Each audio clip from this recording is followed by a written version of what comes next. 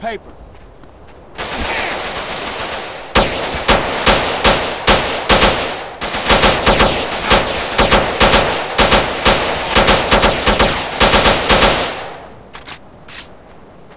I need this more than you, I think.